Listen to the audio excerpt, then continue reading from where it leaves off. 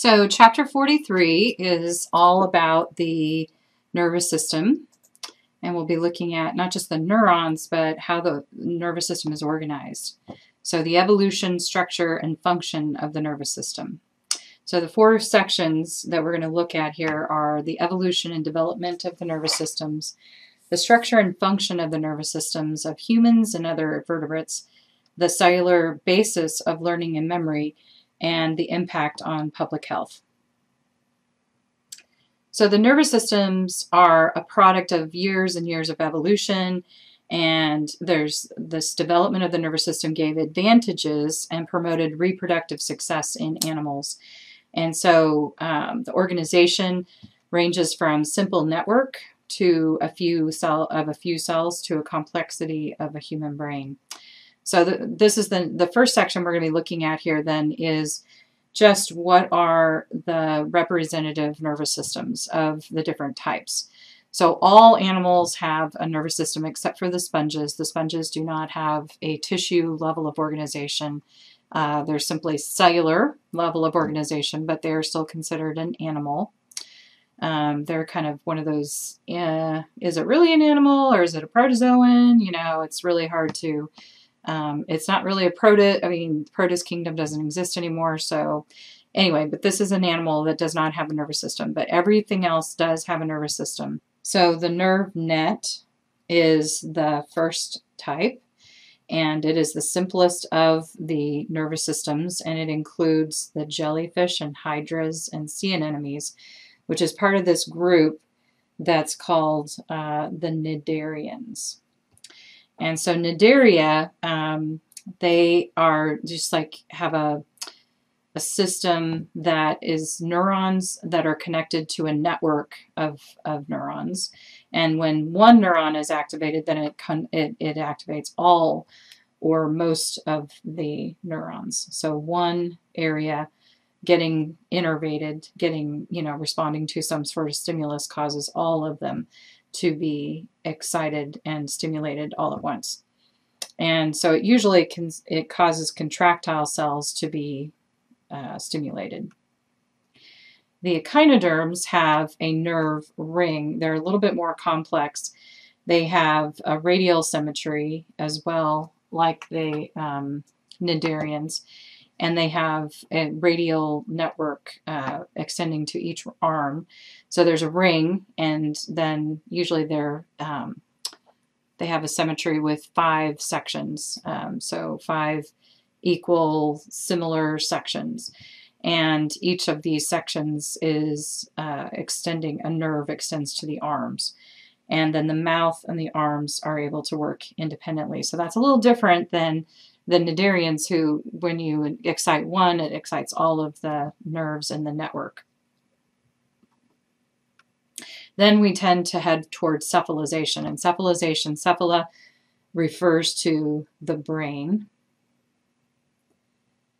And so this is the first time we're going to see a brain.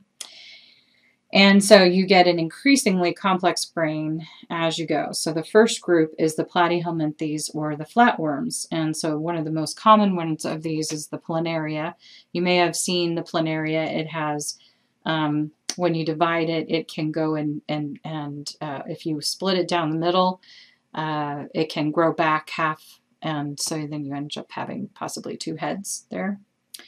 Um, so it's the first phylum that has a brain with defined regions and synaptic connections. And so there's a, a, nerve cord, two nerve cords, and then transverse nerve cords. So two nerve cords and then transverse nerve cords running through it. And so this is kind of um, the body type that we see with planaria. And they have the brain extension up here running down. That's not a very pretty picture. Don't laugh at my diagrams. Um, but that is just a basic, simple identification of those. So two nerve cords that run down the length of the flatworm, and then these transverse cords that connect those two nerve cords and run across the horizontally across the, the worm.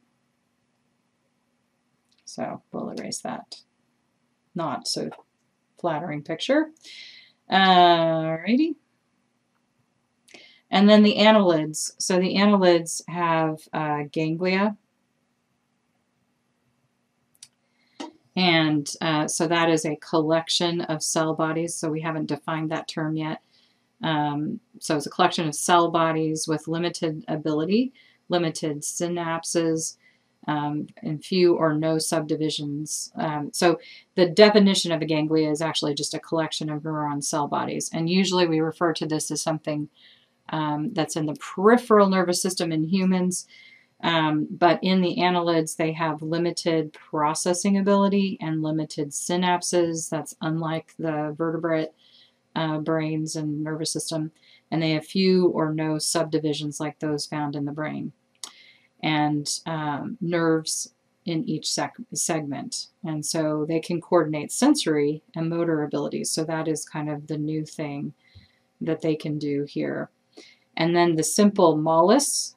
Um, so annelids, by the way, um, this is more of the segmented um, round worms. So there's roundworms, that's Nemahelminthes, nematodes or Nemahelminthes, and then the annelids are segmented round. So the Nemahelminthes are not segmented, and these are much more advanced. They consider, well, however they consider it anymore. Everything's kind of been changed with a lot of the new findings with genetics and everything like that. But in general, we consider annelids a more developed um, animal. Um, however, within in terms of their brain, they're more on the lines of the simple mollusks. So simple mollusks um,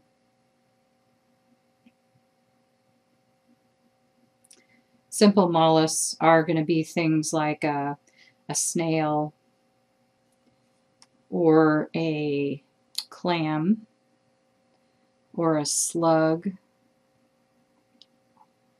um, so these are more simple ones, um, not including octopus and uh, squid, because squid are uh, considered more advanced, and you'll see why in just a minute. So they have a pair of anterior ganglia and nerve cords. And they're similar, so you have a collection. You have ganglia in annelids and nerves in each segment, because again, this is a segmented worm.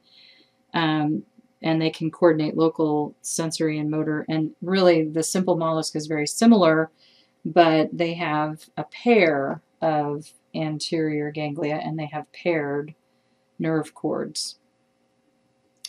So in insects, they have a brain that has developments like subdivisions. So that's kind of a new thing for them. And Drosophila is, by the way, just an, is a fruit fly. And so with the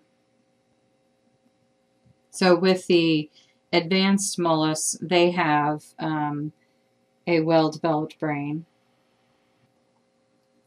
So advanced mollusks, they have a well-developed brain and subdivisions. So both the insects and the advanced mollusks will have these subdivisions, but the advanced mollusks have a more well-developed brain and it's um, larger as well. Of course, the mollusks are bigger than these insects, but um, these include the octopus.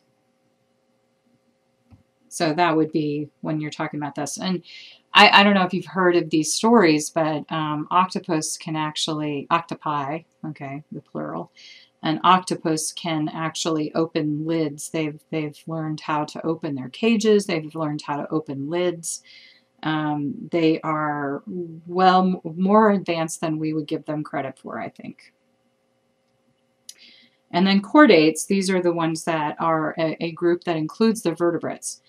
And so, um, so vertebrates that have a backbone, that have um, an exo or endoskeleton and have a backbone a spinal cord. And um, so this is one of the developments that you don't see is um, others have a brain, but they don't all have a spinal cord. So the chordates have a spinal cord.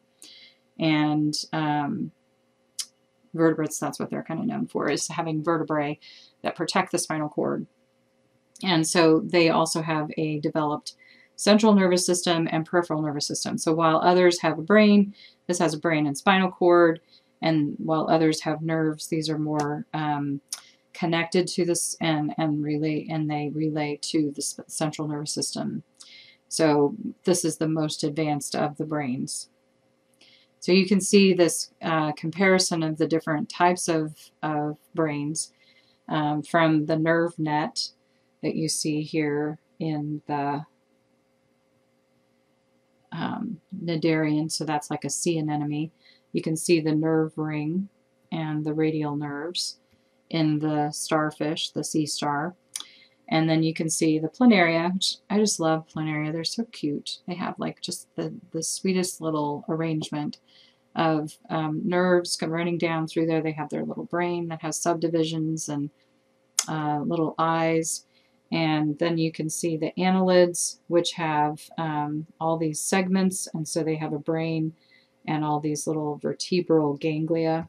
And then you have ventral nerves with ganglia in the arthropods. And then the mollusks have the brain with subdivisions and ganglia. And then the chordates have a central nervous system and peripheral nervous system.